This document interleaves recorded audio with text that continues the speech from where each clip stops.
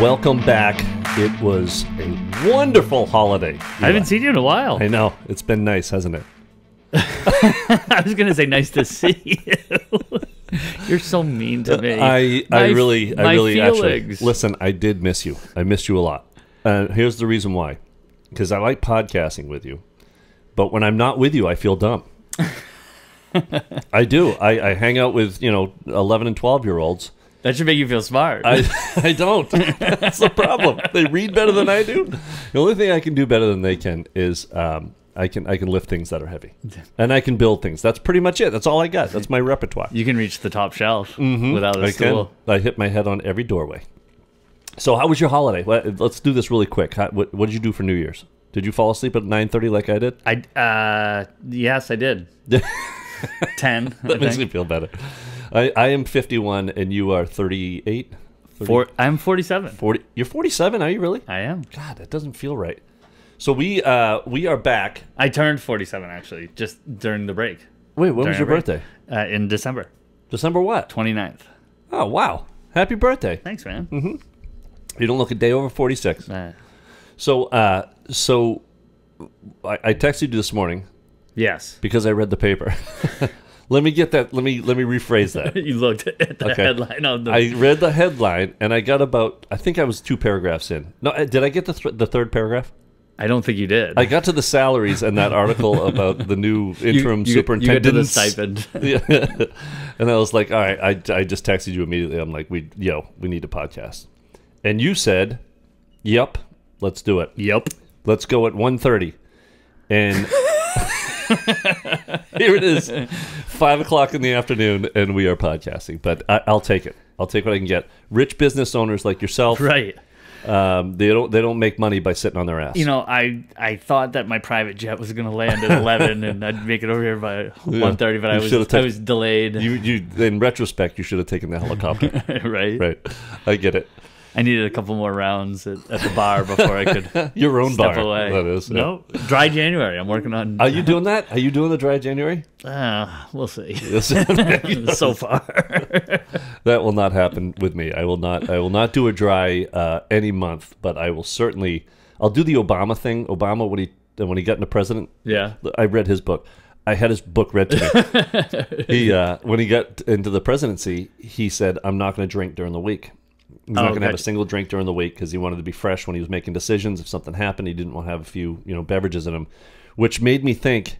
How many presidents were hammered when they were making decisions? Uh, but but he was, I guess, he stuck to it, and he felt better, and he, he tried to quit uh, smoking, and that didn't work. And I don't smoke, so I'm one up on him. Yeah, you got to have your vices. Mm-hmm. The uh, there's actually lengthy history of drinking like in Congress. Yeah. back like founding fathers that like Yeah. They were they were liquored right up. all, all the time because they, yeah. they, they probably had and I, I wonder if that's you always see in TV shows you always see a liquor cabinet in the back background when they're they're meeting with their constituents Yeah. there's always a like some sort of liquor cabinet Right, they drink like all the time. yeah I don't I couldn't do that Anytime I watch TV, it makes me want to have a drink. See, all I those know. shows. Yeah. I I try to control myself and only drink on the days that end in Y. yeah that's smart So yeah um, so far th- in 2023, I have not yet had a beverage. that's right and you're drinking a water right now I'm, I'm proud of you We'll see. all right so so make me smarter as you usually do I've been trying for so long. It takes a no, while. to no avail, but it takes a long time, but I feel like I got pissed off at that article today. I, I, I mean, I, I, I say pissed off, tongue in cheek, but I, I feel like I, I called this thing a long time ago, and I don't know if I verbalized it, but I feel like everything that's happening right now. I was like, I told you so. The- I, I see, it. I the writing was on the wall, and I think I actually said that you know Abdullahi was going to get into that position, even though blah blah blah. So tell me what's going on. What what uh, what's what's happening? Make sense of that article for me. okay. So we really kind of have to make sense of of two pieces of information. I think you have the the Press Herald article, which has some information in it that becomes in addition to uh, a letter that was sent out by school board chair Lentz, Okay. uh, Sarah Lentz, basically announcing that okay, Xavier's leaving. We have two. Uh, currently, we have two assistant superintendents. Okay. They're going to become interim co superintendents. Okay. So two people are going to do the job of one. Um, you can make so many comments about So that, like, that- that's like, that's my first comment, Right. but we'll get into that. well, you could argue that it's a two person job. I mean, the first the the former one person sh- couldn't get the job he- done, he so shit the maybe it, maybe yeah. it was a bigger job than Yeah, than one person yeah, can handle. That's fair. That's fair. Um, but i i I mean, in all seriousness, so you had Xavier Botana, superintendent, and below him two assistant superintendents, Melea Nalli and Aaron Townsend. okay. Yeah. So those two assistant superintendents are going to share now the responsibility of getting the district to the we'll say the finish line of the, Right. the 2023 school year. Right. Um, they need to come up with the budget for the 23 24 school year Yeah. for ne- for next year. To be shot down. Yeah. Yeah, I still, I still, I don't think I'm on board with that philosophy. But to, we can get back to that later. Um, so they're, they've got to get, they've got to run schools through the spring, get ready for next year. Okay. On top of that, they have to fix the still chaotic mess Yeah. of the payroll debacle that I, I, the last I heard, people still aren't getting paid accurately, and we haven't even scratched the surface of some of the retirement problems. Yeah, I mean, there's 403bs, Right. 401ks, there's MainePERS, there's all the interest and all the fees and blah blah blah. God, I can't, I can't imagine. There's a third party doing that now, right? That's the, that's what I've been hearing. Yeah. Um, so they've got, uh, we have an outside group that's looking into that. We've got somebody from Tyler Technologies that I think, depending on the ti where we are in the timeline, is working full time trying to rectify the payroll system. Yep. I don't know if that means they're working on getting it working forward or if they're trying their part of unraveling the layers and, and looking backwards. But y- you have all of this mess with payroll, but you still have the operation of, of going forward with Right. schools. Um, even just the day to day operations, never mind kind of envisioning where do we want to go like what, what's the, the path forward for our schools given the current climate of Yeah. you know whatever wh- whatever's going on out there so you ha- so Townsend and Nalli are going to step up and be co uh, superintendents I will point out that I think it many times throughout our teaching careers there was one superintendent and one assistant superintendent Yep. So, a lot of this, how many people does it take to do it, is totally semantic because you really, and I've been saying this for years, how many people total work as uh, central office leadership Right. is the question because you could have one assistant. Uh, sorry, you could have one superintendent, and you could have no assistant superintendents, but you could have the head of this, the head of that, the Right, the director, director of this, this the and director of that. director- yeah, And yep. so, um, you know, somebody's in charge of special ed, somebody's in charge of transportation, somebody's in charge of food services, somebody's in charge of maintenance. There's all of these different components. All of those people are supposed to be working together to kind of keep things running smoothly. So, if one of these superintendents, in theory, is kind of in charge of that, we'll just call it pool of chores, Right. and then the other superintendent is focused on maybe like budget and more curriculum and working with the principals or something like that. Yep. You, you, you can kind of divide and conquer the labor, but they they need more help than that. So, um, in addition, Abdullahi Ahmed, who is the current principal at Deering High School, Yep. former colleague of, of both of ours, Yep. is going to assume a role of interim assistant superintendent, but according to the paper, will still have some involvement with Deering High School. Okay. Does, So- does that answer your question in a Uh, roundabout I mean, way? it's um, I, I've always, I've long thought that if you put the right person in that job or in any job, you can cut out some fat, right? You put the right people in place. They're efficient in what they're doing. They have a goal. They're able to triage the stuff that doesn't really matter and focus on what really does matter. I feel like we've been stuck with Xavier putting his hands into things that really don't fucking matter, that don't really pertain to all kids. And I think anyway, long and short of it is, I feel like now we have a superintendent that we're still going to be paying for because they agreed to step down. I don't know if that's this is what I feel like. I'm not sure if that's true. or I, not. I will say one one of the biggest questions that I have about all of this, Mm-hmm.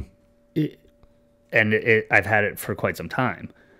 What is Xavier Botana's um, financial package as he leaves? His exit plan, yeah, It- and and I and I mean this for a couple of different reasons. First off, he had a contract for two years.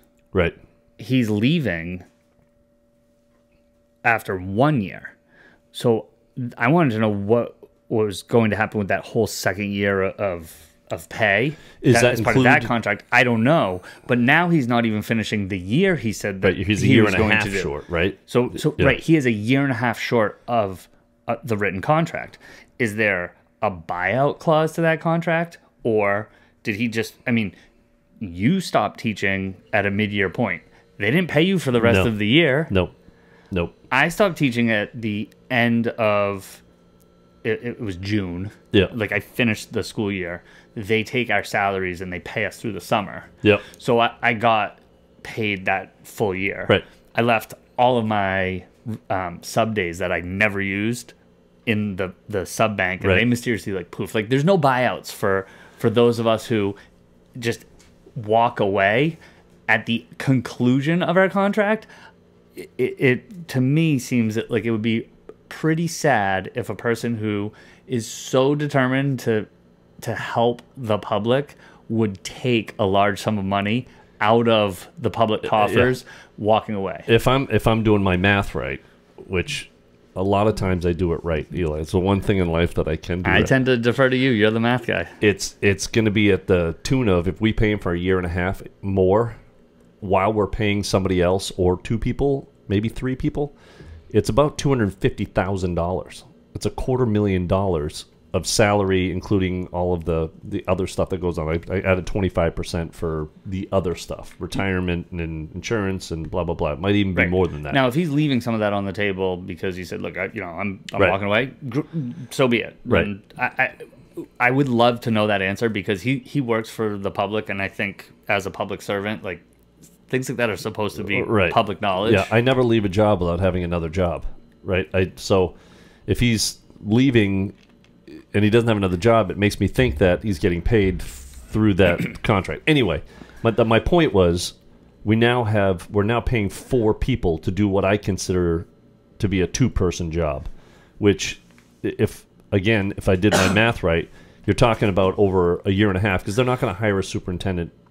I, I Well, can't so- imagine they're going to have a superintendent in place by the beginning of this this year.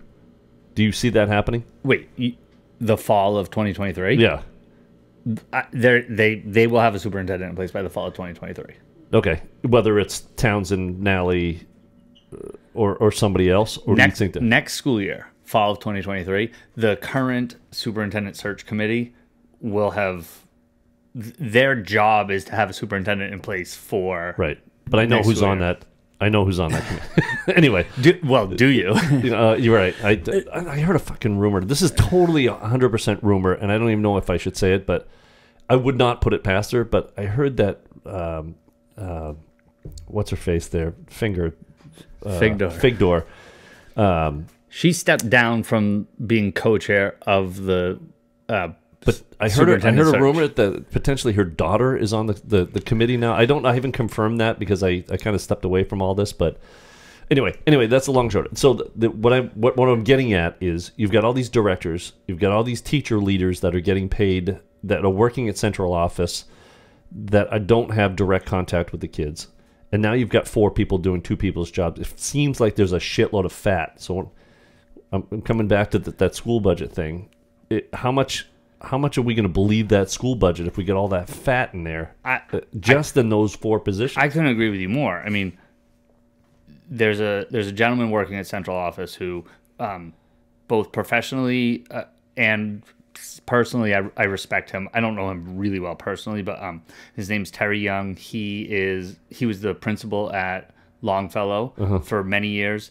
Um, two uh, sons who are contemporaries of my kids, like went through the public schools together, and um, you know, he's great parent, great um, great principal. I think when he was at Longfellow, he left Longfellow last year and took a job at central office, and it's a it's a director of something. He's like the manager of operations. Now maybe they folded transportation and something else into one job, and he's overseeing both of those. But there are a lot of directors and there's a lot of people that do not work in the classroom and do not work with students.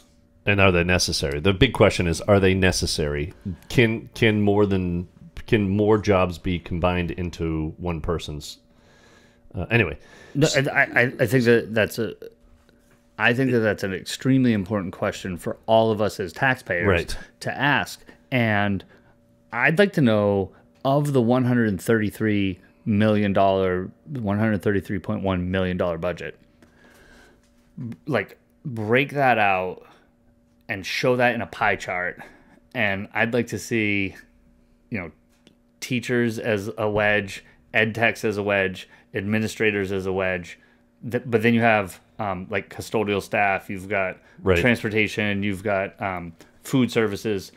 But I want to know how many people essentially work for central office right. because I do think that we have a lot of directors and advisors and dean of or what you know whatever, um, and and we have this huge, huge special education um, division. Um, there, there's there's essentially schools within schools. I think these programs called uh, Beach and and Yeah. Breathe Breathe. Yeah.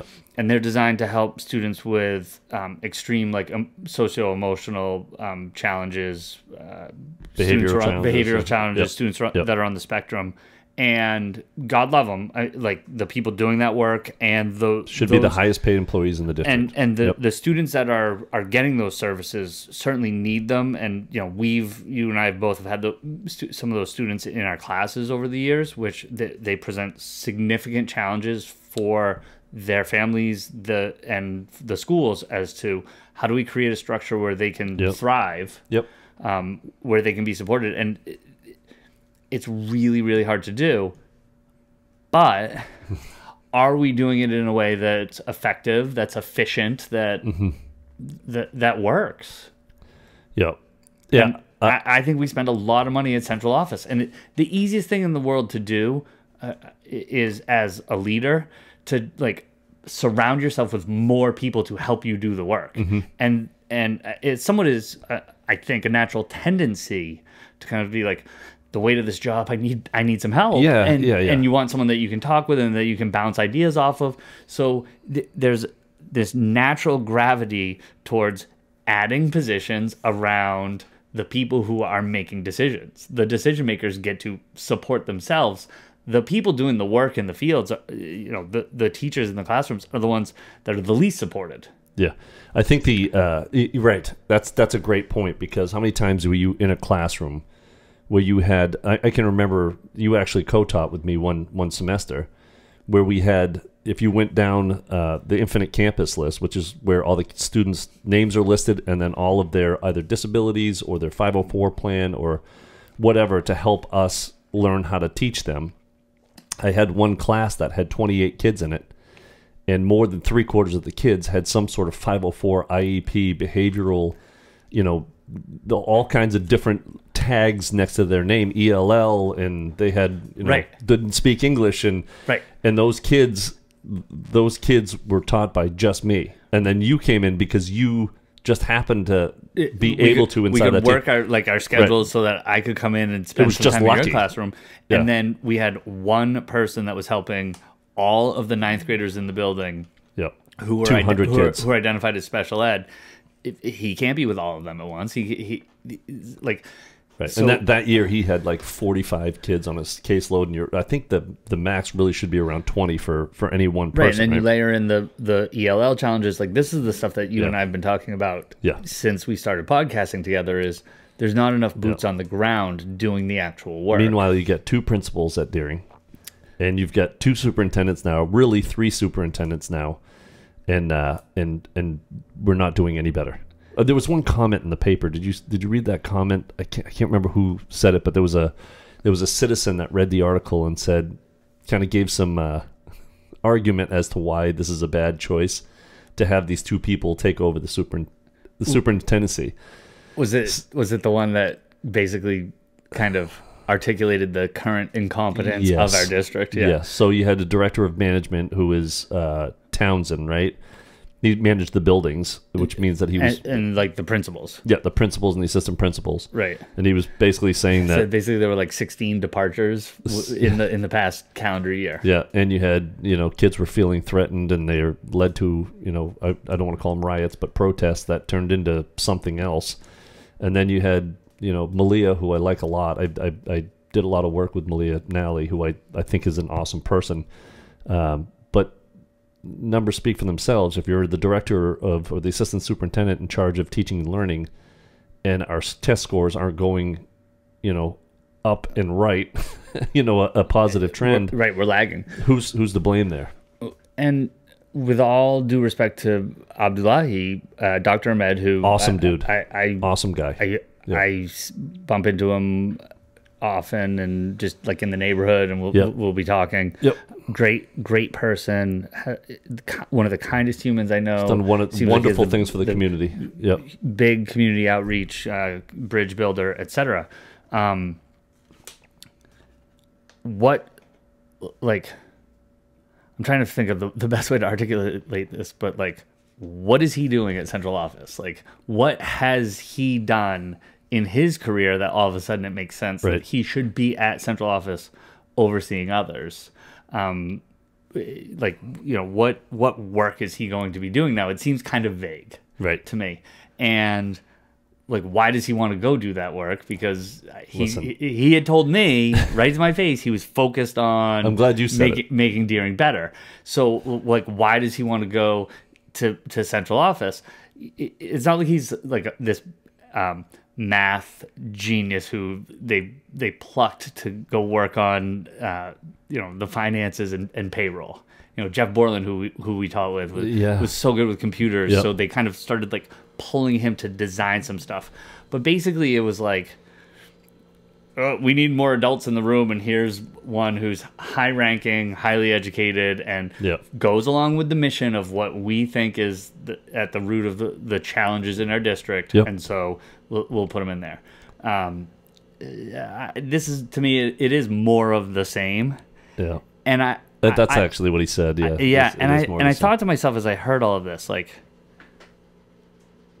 who just decided that these this was going to be the shuffling of the of the deck? Is this um, Melea and and Andrew saying we want Abdullahi helping us? Is this Aaron. Uh, uh, sorry, what did I say? You said Andrew. oh, right, sorry, Aaron. Are you too impressed? Because I read that in the article. You're right. Um, Thank you. I should, uh, I- maybe I should go with superintendents. The superintendents want um, wanted Abdullahi like helping them out, or did Yeah. school board chair Lentz say this is what we as the board have discussed? And like You know as it- well as this I is do. kind of out of nowhere. It wasn't like there was this advertisement saying we're going to be looking for interims. This we're going to be looking for interim. This. I mean, you've got a major reshuffling and restructuring going You on know here. exactly. Who's in charge? You know exactly why Abdullah Abdullahi's in that position. I'm sorry. He's got the listen. He's got a doctorate. He's got the qualifications. I have no problem with him going in there. I wonder though. Uh, Deering has its own challenges, and you had to have two principals over there. Now you're removing one of those principals all of a sudden halfway through the year. Who's going to take that spot? I- like who's going to do that work that he was doing over there? If you can just remove somebody from that position, all of a sudden, I just don't I don't see how you can remove him if you needed two principals there. Now he's going to be splitting his time between the. It's just the reason why he's there is is because of who he is to the community. That's why he fits the narrative. He's very qualified. He's an outstanding human being. I would never say a bad word about him.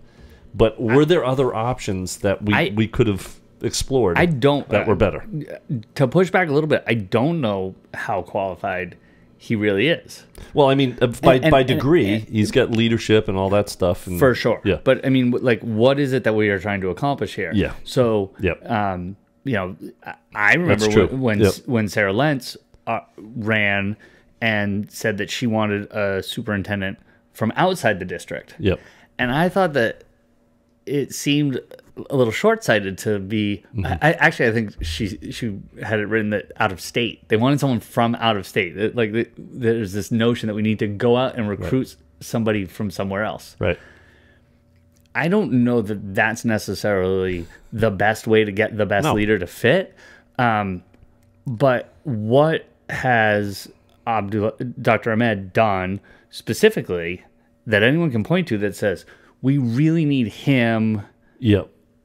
to be working at central office? Yep. And I don't mean that to be critical at all of Dr. Ahmed. I'm just looking at the situation, like the problem that we're trying to fix. What is it that he has done that makes you think like this is the guy that we need at central office? Right. I get what you're saying. Sheila I get it. Jepson, Sheila Jepson Sure. Spent time she spent I think a year working at central office under Xavier Botana at some point in time. So if you if you were making this argument that like we need to move her to central office because she has eh, this eh, like Yeah. it just to me like I don't understand the specific rationale that says let's take this person who's working at a school that's not necessarily the best performing school or everything's going so amazing and look at this amazing Right. job that they're doing. And again, I'm not criticizing the work he's done there. No, but I know. I just I I, don't see this. Oh my god, we have to get this person working at at, central office. It's not. You know, in, in professional he's not- sports, he's like not blowing like- the doors right, off Right, of- like right, like it's yeah. like this person is outperforming at the double A level, so we need to get them up to like the the next tier. Or this person is such an amazing coach at the G League. Let's get them on the bench at Yeah. the major league, you know, NBA level. So I, I, again, to me, this is you, you, you and I keep saying this. People who are making decisions because they think and they feel like it, it's a good thing to do. And I'm in the middle of listening to a, a podcast right now, All right. and it, it literally is breaking down a fallacy in education about literacy that's been going on for Ah, 20, yes, 30 you- years. you've kind of I've- alluded to that. Yeah, yeah. Um, and and there's a parallel that that I that I see. So the the podcast I'm listening to is called Sold a Story, Mm. and uh, it was a woman who had a theory about reading. Uh, she's it was in New Zealand and um, came up with a theory on on how to fix reading, and then said, "Now I'm not positive if this is the right way to do it, but this is what I think." we now have scientific evidence that says that no, she was totally wrong. But it sounded and felt so good what she was saying. Right. So many people bought into it. Yeah. If you stake your professional livelihood on a theory, as our current school board and uh, superintendent have done, the problem is equity. Everything's about equity Right.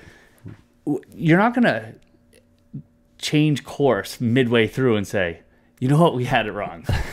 I was Yeah. like, like who's gonna self-immolate in that way and say, you know what, I screwed this up real bad. At like, I'm off track. That is definitely a problem that we have, but it, as you and I have said, it's not necessarily the problem. So we're we're doing all this work now at central office and we're still not talking about our reading scores, our math scores, our graduation rate, Right. our, our attendance. Right. So it, it's hard for me to listen to all of this. Yeah.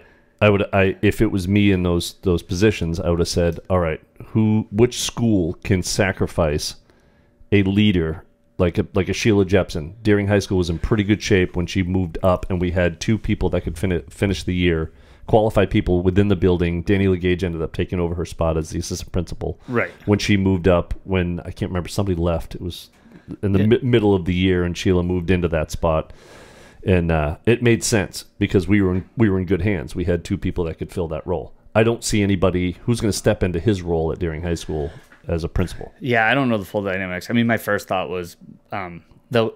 I Grab- joke they'll, they'll they'll go. What's that? Grab somebody that's done the job The- before, right. The, and- um, you know, uh, Jim Moses, who was an assistant Sure. principal when you and I Yep. were, were teaching there, um, has come out of retirement several times to fill in. Yep. Um, I think there was a, a someone like was on maternity leave. Yep. Um, so he he stepped in and finished a year for them. Yep. Um, and the current current principal, cur- current co-principal was at at Deering. At. Deering, yeah. Right, and so so like Moses finished the year out. So, at, the, at the end of the day, I- like that, I thought that would be what It, Well- it would make sense. like take a person like that like go, call jim and see if he could work at central office um i was expecting a call maybe to uh jeannie crocker who Right. had That was the know, one that came to my mind. I Yeah. had mentioned that like Yeah. get her over at central office to been there done that hand her a lot of the things that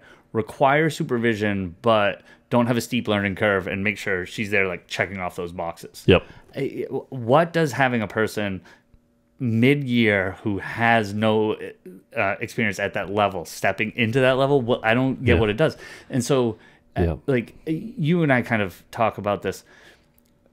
We you and i know what teachers do like with their day mm-hmm. i know what the assistant principals do during the, the day they have like a whole list of appointments that are that are set up that they have to facilitate meetings um, they have to meet with students who like require discipline etc none of us know what all of the central office people do Yeah. Yep. their days are filled with meetings of what Right. There's some right? fluff in there. Yeah, I think. Right, and so it, it like, and so we just keep filling that that building on Cumberland Ave. I joke because I, I keep so hearing that empty they, offices. That's right, they work remotely. um, so many of them, but yeah. like, um, we just keep throwing. Um, hey, let's put it like another person who has some experience at it. Like, yeah. and and what are we getting for all that? And I, I just I don't know. It's a fair point, and it's something that I think the voters um, who are going to shoot down the budget. And uh, when do we vote on that? Uh, well, so Melea will put together. No, actually, I shouldn't say that. I'm assuming that she'll put together Of course the she will. budget. Yeah. Um, she and and uh, Townsend will will put together the bu- a budget proposal. I think by April they have to get it in front of the- April is that what it is? I think by April they have to get it to um, City council. city council and have it be like public record, and then in June we we will vote on it as a. Great. So we get we got six months to to change your mind. And uh, they they have six months to to decide what they're going to do. I mean, we we always talk about how there's not enough money in the budget for education, and there's so much things that they have to cut. Right. And we're hearing rumors that uh, Xavier is getting some sort of bonus, and that there's some Oh, sort I- of I really and, hope and that's that not true. potentially. Um, uh, like a severance, or or he's going to get paid through the end of this year, anyways. And then there's still money to give stipends to uh, the co superintendents who. so that was my making- last point. Oh, all right. That was my last point. Melea's already making one hundred and forty-two thousand dollars a year. Yeah, If you're living in Portland making one hundred and forty-two thousand dollars a year, you're you're doing well. you don't need more money. You literally do, you don't need. You're more doing money, well. right? You're doing very well, and they're going to give her That's more than my household income. right. That's what. I'm saying. That so combined. Two people. so she's a hundred. She's one hundred forty-two thousand. They're going to give her seventeen hundred and seventy-five thousand uh, hundred dollars a month while she's doing this co-principal. They're also going to give Aaron Townsend, who makes one hundred and thirty-five thousand dollars a year, one hundred thirty-six, whatever it is. Yep. They're going to give him another seventeen hundred dollars a month as well. And then it would stand to reason that Dr. Ahmed is going to be getting something extra Sure, because it's going to be hundred. he's doing more. So Right. So uh, if that's the case, then then if we're paying those four, that that comes out to just shy of eight hundred thousand dollars that we're going to pay over the span of a very short short time. That that's fat. that is fat. I know I know people that that are out there that could probably I could get two people I can think of two people right off the top of my head, me and you, who could walk in there and clean house and look at that budget and say, Nope, nope, nope, Yeah. nope, yep, nope, don't, yep, nope, yep. don't forget the fifty thousand that they spent to lobby for right. I just- legal advice on question five, and the fifty thousand dollars that they're paying a search firm to find the next superintendent. If we're so short on money, where's all this money coming from? Some of it is because we have unfilled positions. True. So so the there's extra money in the budget because we've been trying to hire, you know, substitutes and and they haven't been showing up. But on the heels of people not getting paid and the bad audit and then the, it, it it's it's kind of scary to see what's going on. So in June, shoot it down. That's what you're saying. Got it.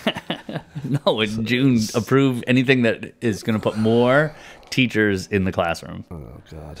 Yeah, if, th- if that that's the case, great. If that was the the budget, I actually might break down the budget before that comes in. I think that would be a nice service. To Be interesting for us to do. Yeah. Just to take, we'll grab Tay Tay Chung, that- who who's really good at breaking budgets down and Sure. his his gaggle of people, and we'll go right through the thing. What do you think about doing that? I I remember doing that at one point with a, a colleague, Susan Young. She was an English teacher, and the two of us sat. She had done a lot of the work first, and then the two of us sat there and we started like literally culling through pages, going like, "Wait, they're spending, they're appropriating money for this, they're appropriating money for that," and it, it like it sometimes makes your head spin. Like, what is it that they're doing? here? Yeah, right. What's the effect of kids? If if every single page in that that book of the budget doesn't have a direct correlation to kids getting better, it should be cut out. Flat out, just freaking cut out. But anyway, uh, I, I appreciate you making me smarter. I, listen, Today, I feel like I still I have feel a long way to go, but I feel you have a long way to go. You have a lifetime to go, Eli, to make me smarter. if, if, no, actually, I meant You literally are going to have to get a, like a corkscrew and s- start winding some knowledge into my ears. I have some ideas about What's that like? questions that we should be asking and things that we should be looking into about school uh, the, the way our schools are, are Yeah. managed and run um, and and i mean this as a person who wants to see great public schools Yep. we're not spending the money on the students we're spending it on ideas and professionals who are you know building careers and talking about things that Yep. they, they think sound good and it, we're not getting what's best for our kids Yep. so I'd like to find a school that's out there that's doing it well and emulate them. What school is doing it well? What budget looks good? And just make that our budget. Why not do that? um, If I listen, I was Well- I've been coaching baseball my whole life. I've been playing baseball my whole life.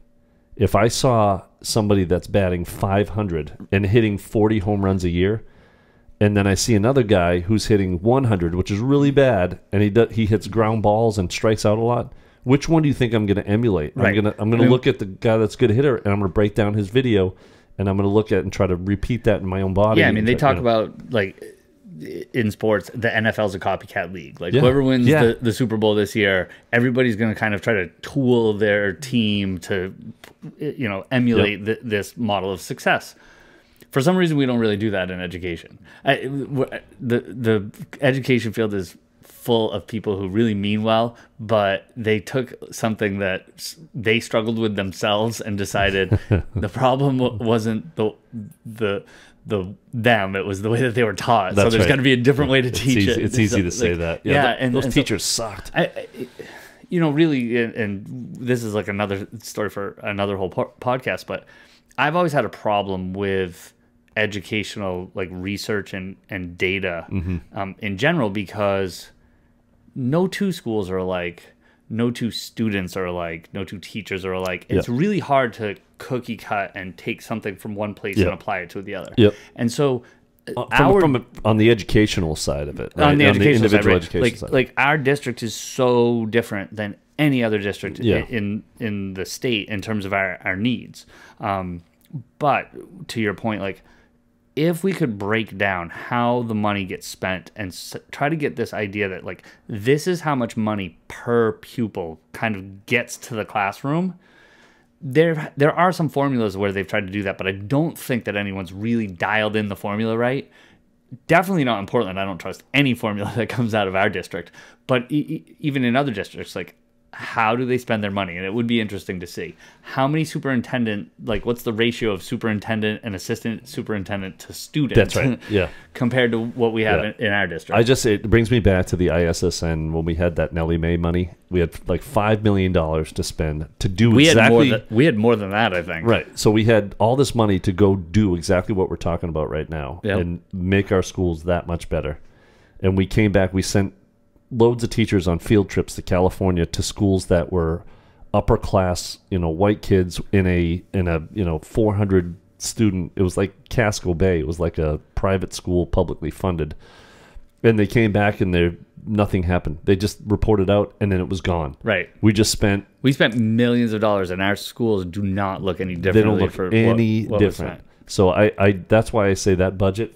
If I'm if I'm a voter, and I'm happy to do the, the work and hopefully with you and maybe grab Tay like we said and and break down the budget and say this is fat, this is not fat, and and take it from a teacher's perspective, get other teachers' point of views on it, and and break that thing down for them and let the public say Yeah, yay or nay. Yeah, because nobody asked the teachers. Nobody ever asked the teachers.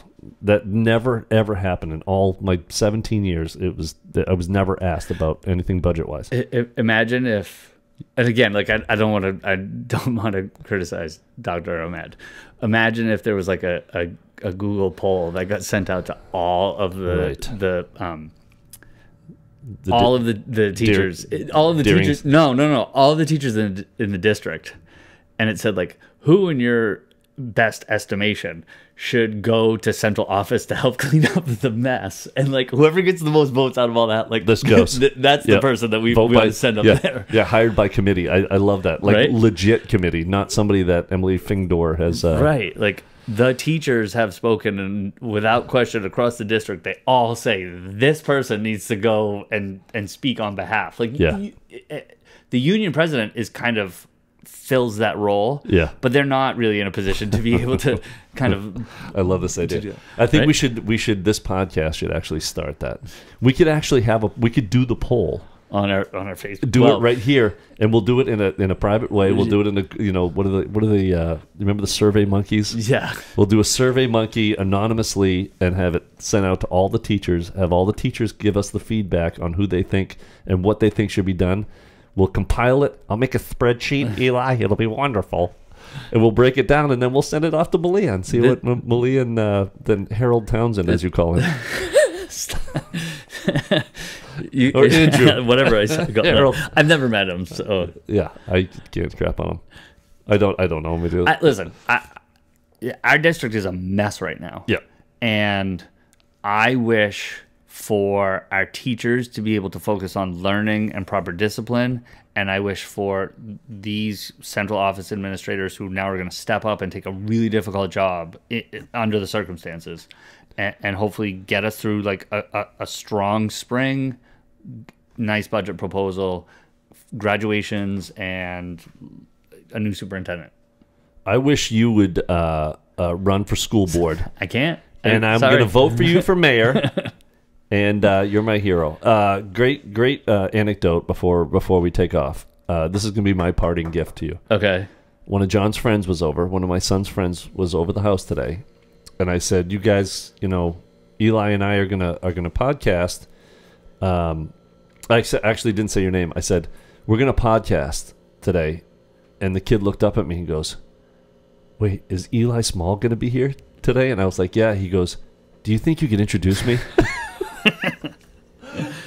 I was like, "Are you kidding me? You got to get his autograph. We My- can get his picture." He didn't do a selfie with you, but My legion of fans out there. he was uh, he was very excited because his parents are devoted listeners, um, and uh, the Gagnes, and we uh, we love them very much for listening. Well, we, But yes, we apparently they appreciate like this- you more. We appreciate the support. but Yeah, I think it's you know people are are more drawn to smart people than than people that aren't smart. It's my uh, it's my vel- velvety smooth radio Yeah, voice. I especially like the fact that you're you're the smartest guy in the room anywhere you go, and you wear a Jack Daniels hat. Podcast. how, how it's it's comfortable in here today. I, the meat locker is feeling good in this balmy 50 degree I know, January I know, weather. I know. It's crazy. I, uh, you know, I, listen. I just the hat was. I'm a I'm a man of the people. I know. Yeah, I mean that's what rich people drink. They drink the, the, the good stuff, Jack Daniels. well, we appreciate you guys listening, and uh, we hope you have an awesome week. And uh, we will be back next week with uh, with more on another topic. And I, I think we were talking about doing some uh, some guest runs. But if you guys want to support us, you can get onto our Patreon page. I will uh, post it. I forgot to do it last time, uh, but I'll do it this time. Um, and uh, that money is going to go directly to teachers and uh, trying to get the word out about this podcast. We're not taking a dime of it because Eli is independently wealthy. Right. Is that is that We- true? No, we're not taking a dime of it. Was what made me think right. Yeah. well, you got any parting gifts for us? Uh, speaking of parting gifts, I think we, Uh-huh. we got to. We've talked about this. We got to revisit it. I, think we got to go get the t-shirts made. T-shirts and hats. Yeah. Yeah, I agree with you. I uh, I think we should uh, I think we should give them out to lucky fans too. Uh, lucky, Are they lucky? Uh, unlucky. Um, I think you should get one with a with your Patreon subscription if you kick in at a certain level. It's a great idea. We're, we're, we're working That's on that. such a good idea. This is why you're the smart one on the podcast. We'll figure that out. But uh, I'm, I am a. you an have a T-shirt guy. I'm a business owner. I am a bit of an Uh, entrepreneur. I know you are. I know you are. Entrepreneur. Your business is booming, absolutely booming. Maybe you could get your uh, the the company that does your Brookside. Um, Our swag. Shirts. Yeah. I'll I'll dig into that. yeah, Brookside Food and Beverage, Brookside Food and Drink, Food and drink. Food and Drink on uh, Route 302 in Westbrook. If you haven't been there, it's lovely. January 13th, I will be Tim will be playing there. playing. Yeah, I will be uh, playing guitar and uh, and howling at the moon. I'll be there with some uh, non-alcoholic beverages. That's right. Uh, no, you're not. no, I bet that hat is soaked in Jack Daniels. That's how you're getting away with it. sweating it out. Well, have Take a great it. day, you guys, and uh, thanks for listening. And just just remember, be nice to each other. Searching for greatness in a sea of the dying and shameless. Uh, a sea of the aimless. I don't wanna be one of the nameless. I'ma wake up with the mindset that one day I'm gonna make it, and I don't think I'll be fine if I don't break my.